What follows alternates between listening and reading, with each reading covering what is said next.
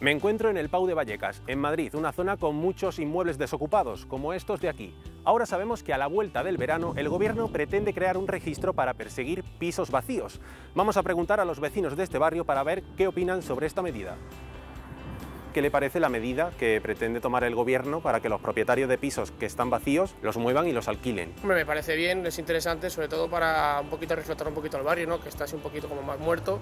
Pues supongo que con esta medida el barrio pues se verá con un poquito más de vida. Al haber más gente, pues tendrán que dar más servicios, tendrán que poner policía, comisaría o colegios que aquí falta mucho colegio público, que es casi todo privado. Alquiler, pues aquí para lo que es el barrio es caro también, entonces no me parece mal que se intente dar movida y salida a los pisos que están vacíos. Cuando hay urbanizaciones así, no todo el mundo viene para vivir, sino para especular también.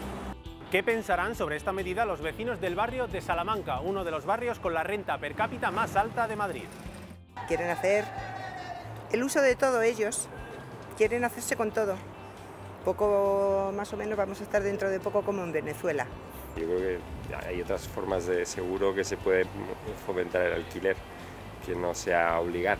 Tienen que ver cómo van a determinar que un piso se considera piso vacío. Cada uno con su propiedad eh, tendría que tener la libertad de hacer lo que le diera la gana. Pero dices, no lo alquilo porque es que se me meten, no me pagan y échalos.